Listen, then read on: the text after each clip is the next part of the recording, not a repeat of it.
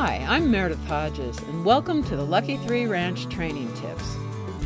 I get a lot of letters and emails from people with training and behavior questions about their equines. So I'm going to take you back to the beginning with a series of training tips that work for all equines. What's wrong with this picture? Every year, countless equines are injured, traumatized, disfigured, paralyzed, and even killed because they're left unsupervised while still wearing their halters. Many equine owners believe that catching an equine is much easier if you just leave the halter on. This may seem true, but if they don't want to be caught, having a halter on won't make a difference.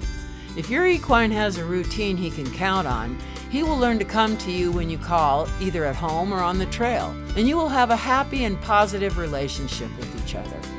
Remember, there is never a reason to leave your animal unattended with its halter on. So do yourself and your equine a huge favor and use your lead line training time to teach the command to come. It's the responsible thing to do, and it may just save a life.